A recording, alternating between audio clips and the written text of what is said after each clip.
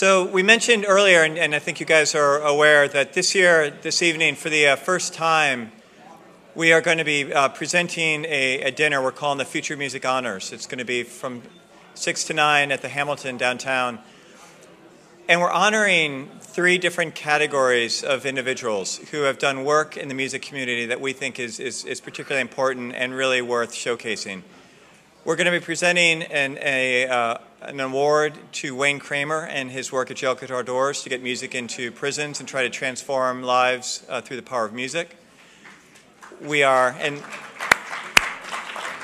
and we're going to be hearing from Wayne uh, tomorrow here at the conference, and tonight he's putting on a, a, pretty incredible rock show. So hopefully after the dinner, you can uh, have the energy to, to, go see him play uh, with, a, with a ton of amazing guest artists. We also are shining um, a, a, focus on something that happened in Washington, which uh, it's actually very timely. Um, it took about 10 years for four congressional leaders, Senator John McCain, Senator Maria Cantwell, Representative Mike Doyle and Representative Lee Terry to lead a fight that reauthorized the Federal Communications Commission to create an entire new class of non-commercial low-power FM radio stations. Those uh, radio stations are, there's an application window coming up now in October, and non-profit uh, groups, uh, educational institutions, and others are applying for the stations. Because of their bipartisan work uh, and collaborative work for a decade, we're going to get 1,000 new non-com radio stations. And I think in, in a time in Washington where it feels like absolutely nothing can get done, I think it's a, it's, it's a pretty amazing symbol of, of what can happen when people from different political parties just roll up their sleeves and go to work over a long period of time to do something great on behalf of the music community. So we're going to be honoring those uh, leaders tonight. Yay. And I would like to bring up our friend Linda Bloss-Baum to talk a little bit about the other group that we are going to be honoring. Linda?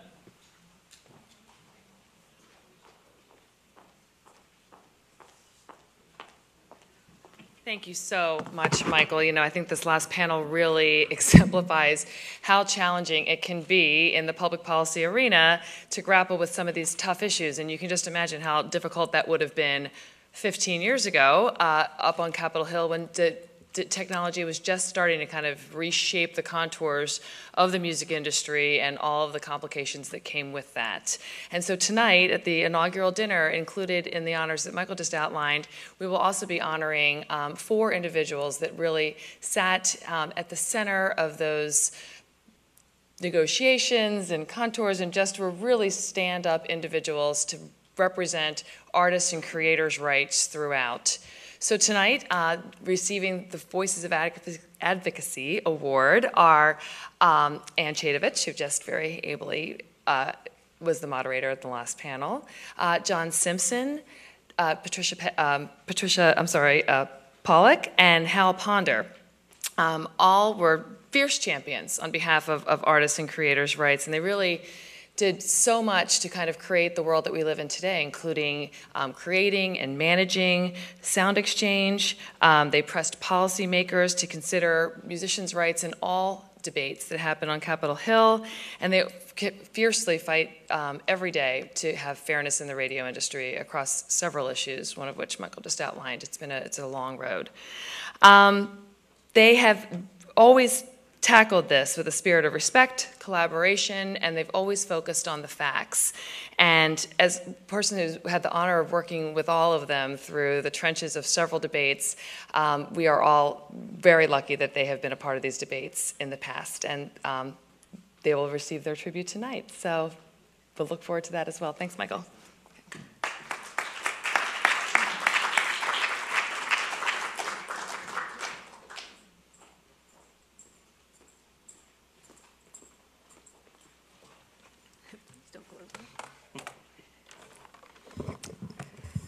So that was quite a panel, one of my favorite types. Um, when it comes to digital music, our next speaker has been pretty much everywhere the action is.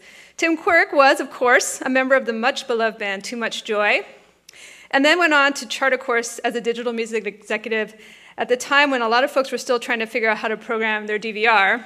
Tim is now the head of global content programming at Google, Play, and he's here today to offer up some insights he's gleaned from all his years in a rapidly changing and increasingly tech-driven music world. Please join me in welcoming Tim Quirk.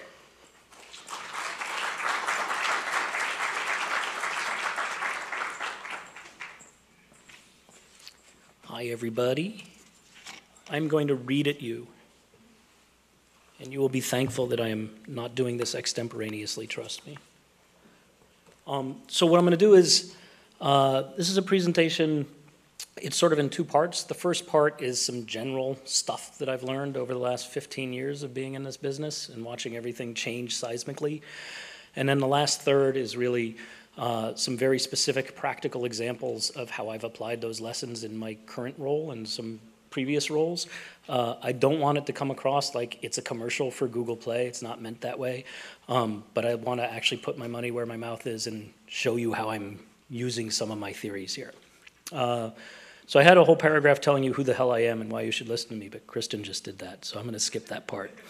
Uh, I will say I've been watching the music business respond to the perils and possibilities of digital distribution for a good long time from a variety of different perspectives, and I've become pretty opinionated on the subject.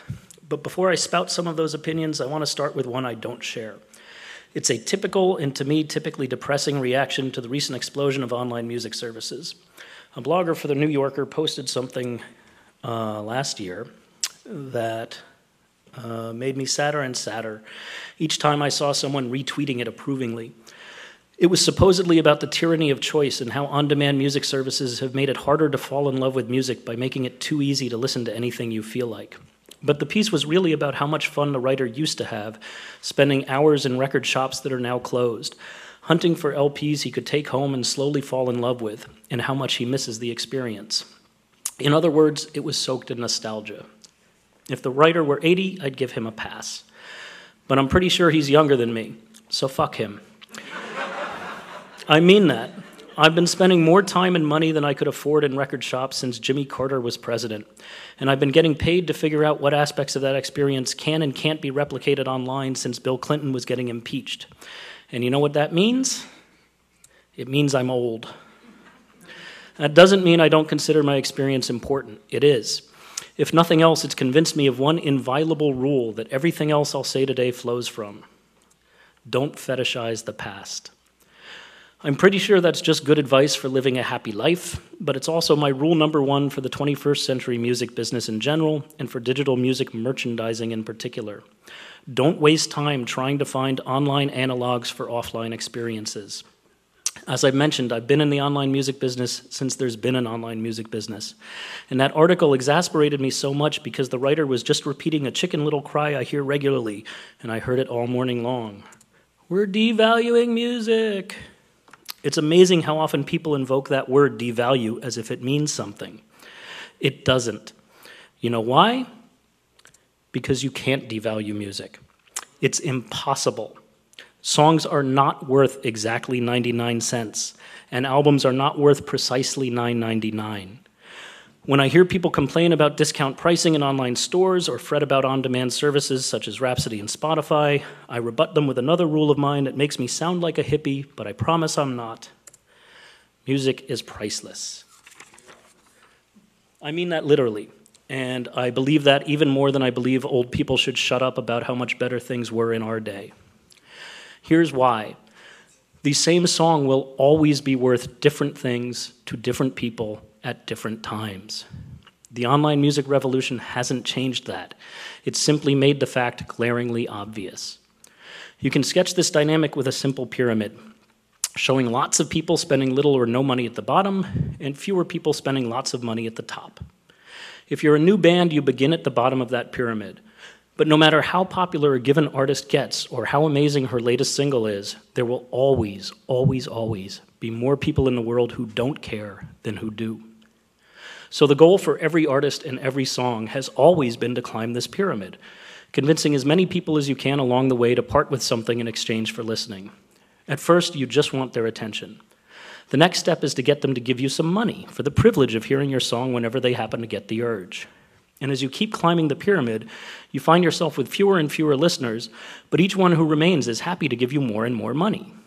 These fans, the best fans, will buy alternate versions and deluxe editions, they'll come to every show, they'll get buried in a KISS coffin, etc.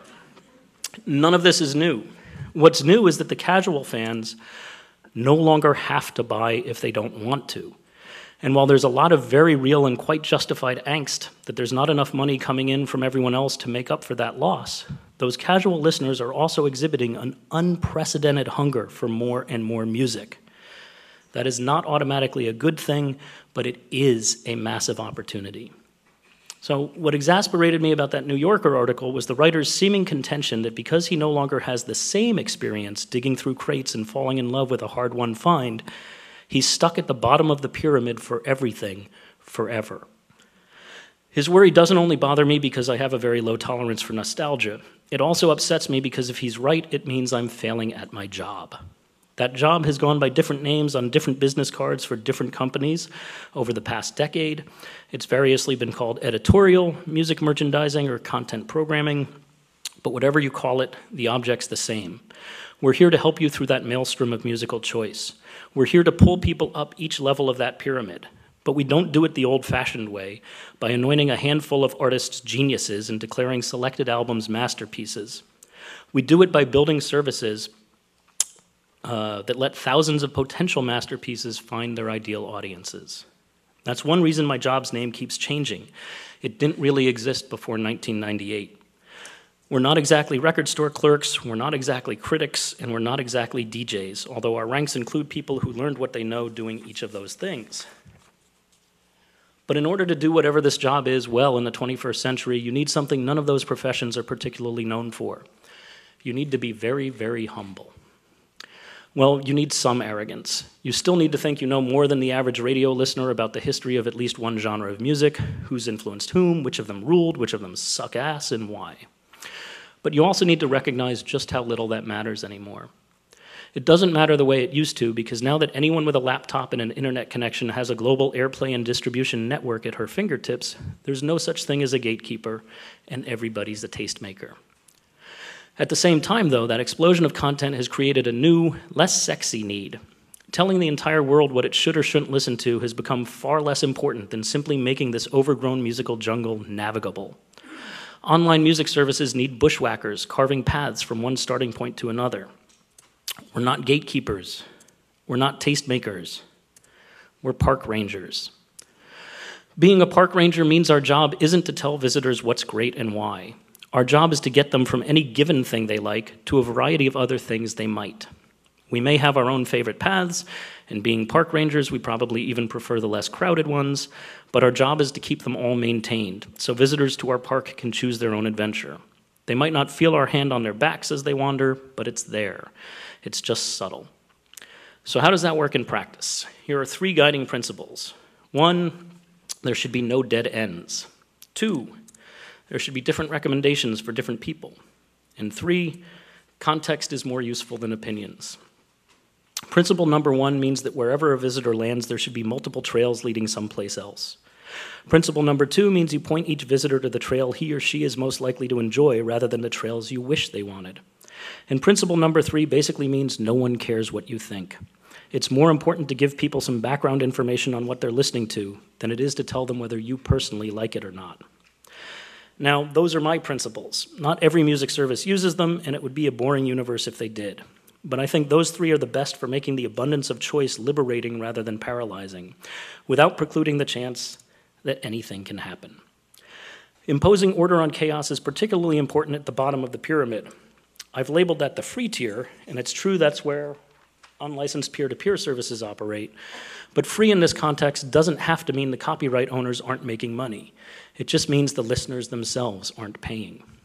The free tier of Spotify lives here, as does YouTube, sites like Last.fm, Pandora, Broadcast Radio, NPR's music website, and numerous other dis- music discovery blogs. I could have put anybody there, but NPR music is my favorite.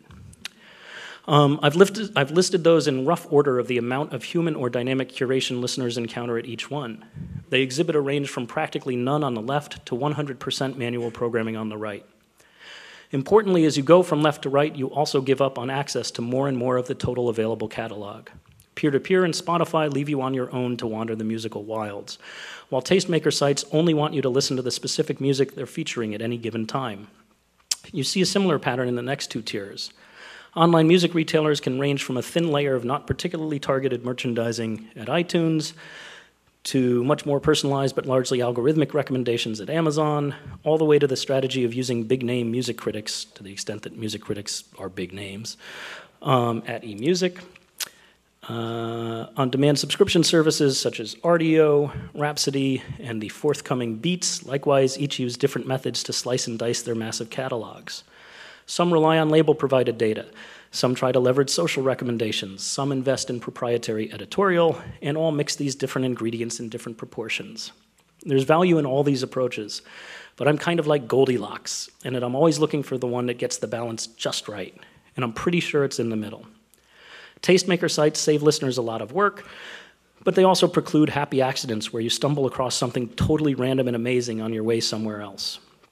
So when I've helped build merchandising teams and systems from listen.com through Rhapsody and onto Google Play, our first step has always been to devise something that can cover 100% of the catalog dynamically, and then let human experts polish as many of those results as they can. The killer services, in my experience, are never the ones that cluster songs using algorithms designed by astrophysicists, any more than they're the ones that brag about how many musicologists are wearing headphones in their basement. The most useful online music services are the ones that arrange the best marriages between brilliant robots and unpredictable humans.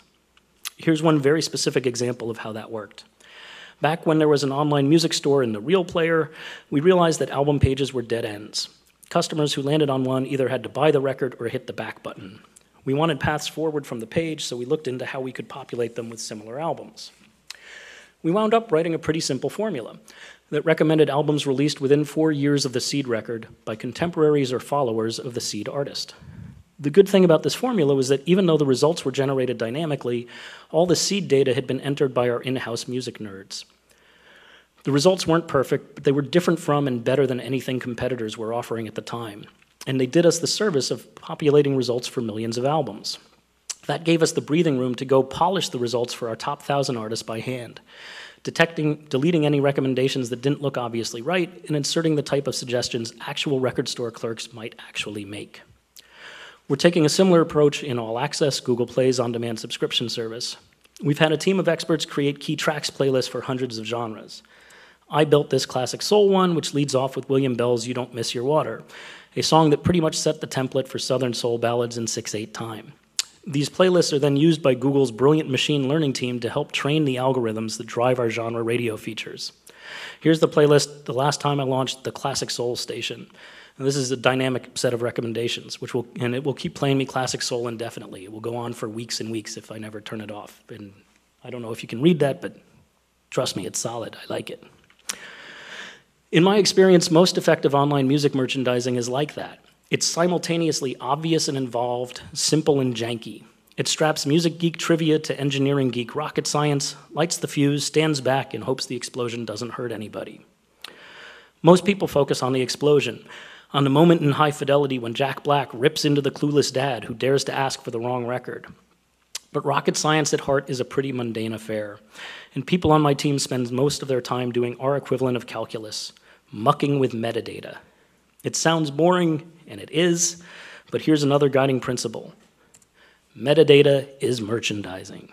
I cannot stress this enough. My teams have always spent more time entering and editing metadata artist, album, and track genres, original release dates, distinguishing singles from LPs, edited versions from explicit, anthologies from main releases, etc., etc., etc., than they devote to anything else. It's not very glamorous work. At Rhapsody, we used to refer to it as digging holes in the ocean because it never ends, but it is critical to maintaining a useful service.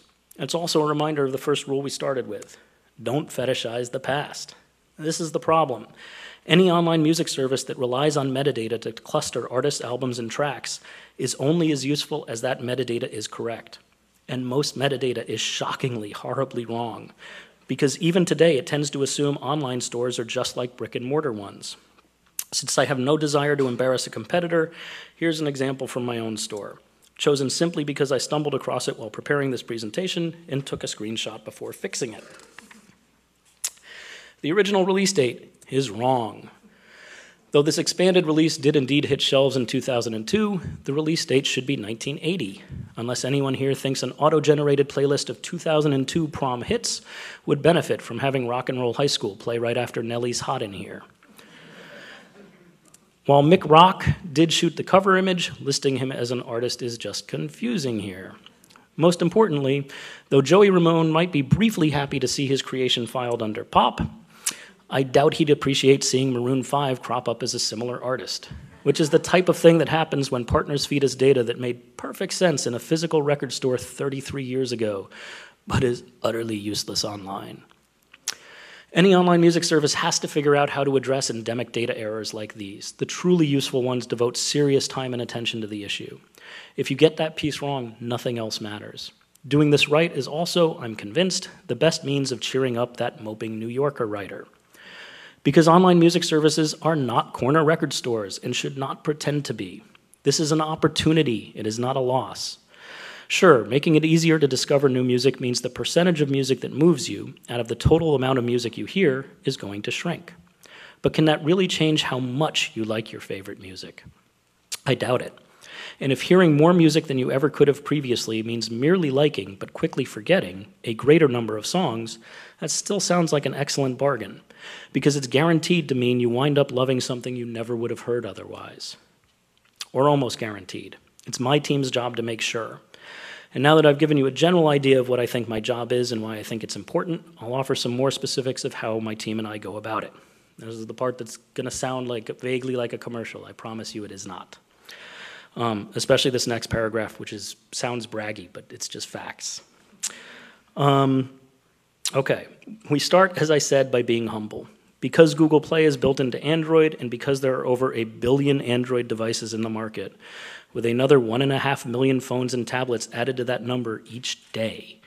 We eat, sleep, and breathe a reality other music services are just starting to understand. Our customers live on their devices. The mobile market is massive, and a huge slice of that consists of brand new customers. That's profound reach, and it's not something anyone at Play takes for granted. On the contrary, it's very daunting, and our very daunting job is to keep all those customers satisfied and happy. We do that by understanding the pyramid. If you turn it upside down, it looks just like a funnel. And we've learned both the power and the limits of our reach by watching those tens of millions of casual listeners funnel into play. Music promos on Play's homepage see insanely high click throughs, but not earth shattering conversions. Whereas promos on Play's music page, which is to the left of it, right of it, I'm backwards, uh, let's see, yeah, see less total traffic but much higher conversions. And that's the pyramid in action. The folks visiting Play Home may be on their way to find apps, games, books, or movies and have only a passing interest in music. So as you can see, we catch their attention with free and discount features. Whereas the people clicking through to music have indicated a specific interest in hearing some and are much hungrier for whatever we put on the buffet table. So we can get a bit more specialized in what we offer. Recently, we've been experimenting with more robust merchandising on genre pages, and sure enough, the same rule applies. Fewer total visitors, but the ones we get tend to spend a lot more. This has been particularly good news for country, which has always underperformed digitally compared to its physical retail market share. This is a problem that has vexed me for over 10 years because we know there's a huge fan base out there. And with a few Taylor Swiftian sized exceptions, my competitors and I have not effectively catered to them country features on play were consistently underperforming relative to other genres, and it was making us sad. Genre page programming has turned that around. Our country homepage is now our best performing genre page, and genre page promos in the aggregate now generate more revenue than music promotions on Play Home. We've also been investing in original content, which can be as simple as James Blake telling us about his favorite things, or as involved as a six part series with Mick Jagger and Keith Richards in which they licensed us a half dozen never released concerts from the band's archives, then reminisced about each individual show for our cameras. Worth noting here is that even the Stones, one of the biggest acts on the planet, recognize there are still more people who don't care about them who do, which is why on Play Home you see us enticing casual fans with a, with a free track. While deeper down, we've got a 35 minute documentary for the folks who hang on Keith's every word. Again, at the risk of sounding like some self help guru, I have to invoke the power of that pyramid. Everything we do ideally offers something for people at each level. We launched a huge Clash promotion last month that included unseen interview footage with the late great Joe Strummer, along with a brand new interview with the three surviving members of the band to promote Sound System, a $75 eight disc box set. We knew that would appeal to Clash fanatics like myself, but we also made sure we prominently featured the double disc greatest hits collection for more casual fans. And we tossed a few free covers of Clash tunes by contemporary bands to coax in the merely curious. None of that devalued the Clash's music. Rather, each piece of it offered different types of listeners a handhold to encourage them to climb a little higher up the pyramid. That's why Antenna, our monthly developing artist feature, focuses on free tracks. The first thing we need to get these artists is listeners' attention, and free helps. This is important. It's not enough on its own. Antenna has recently become our best performing feature in terms of total download performance, but two years ago, it was one of our worst. We've been tweaking the formula. How many new artists, on what cadence, with what combination of placements throughout play since we launched in 2011? And we'll keep doing so because getting people to pay attention to something new has always been hard work. And it's only getting harder as the amount and, I think, the quality of the competition explodes, while the ability to listen to something else instead becomes even easier. Capturing people's attention and then hanging on to it is the fundamental challenge for artists and labels and their managers in the 21st century. So, whenever you hear someone pontificating about music's new world order, including me, ask yourself if the stuff they're insisting on is going to make capturing that attention and turning it into something lasting easier to do or harder. But also make sure they're not just trying to wish the present away. That New Yorker writer was lamenting the ease of discovering new things. And while that makes me very impatient, it's true that the unlimited shelf space, unlimited shelf space is both the blessing and the curse of digital distribution. The internet stocks everything ever recorded, including not just every out of print single and LP, but all kinds of music that's never been commercially available before. So you're not just competing with your contemporaries. You're competing with the entire history of recorded music as well as a nearly infinite present. That's scary, but it can also be exhilarating. If you're an artist who tours incessantly, changes up the set list every night, and has a fan base eager to hear every minute variation as a given tune evolves night after night, we can put that on our shelves, and we can do it in something very close to real time. Not every fan wants that, of course, nor does every artist. But again, no two fans are alike. If you want to treat them all the same, you still can. It's a mistake, but you can. But if you want to embrace the new ability to engage different types of fans in different ways, people like me are here to help however we can. If you're self released, you can upload your music directly to play. Set your own price. If you're on a label, make sure they're delivering to us. Make sure your metadata is pristine. And reach out to me to figure out how we can get creative together. Whatever we do together, please understand that music is never just a commodity to us. We're fans first. Our mission is to turn average citizens into crazy music nerds like us. Digital distribution in general, and play in particular, give us unique power to make that happen. And we take that responsibility very seriously. Thank you.